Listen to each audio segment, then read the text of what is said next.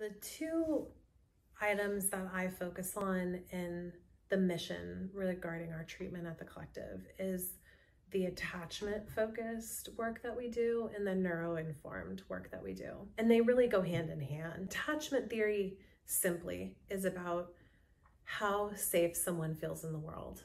And many of our clients are experiencing the stress responses they are because they haven't had felt safety, either in their body with panic attacks and depression or in their environment with trauma that has happened to them. The number one thing we know that helps people get better is trust in healing relationships. We emphasize that both in our supportive housing and group milieu.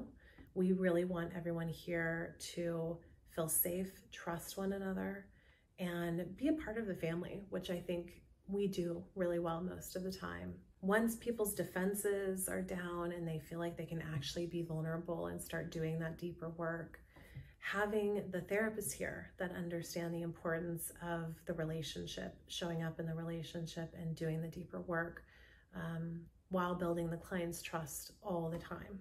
I always tell clients that trauma happens in the context of a relationship and it's healed in the context of a relationship. And so that relationship building is what I really want to embrace here at the collective with our uh, client community and our therapists individually.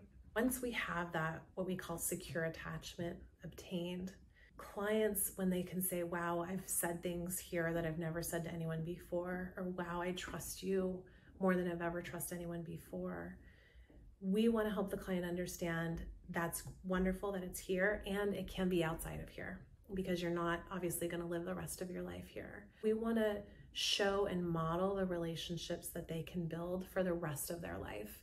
And by building that here, we can then start to focus on their discharge plans and how they can shape their life to continue building the trusting, safe relationships moving forward. And sometimes that involves taking inventory of the non trusting, safe relationships in their life before. The neuro informed piece comes into play in linkage with the trust and safety and the attachment relationship.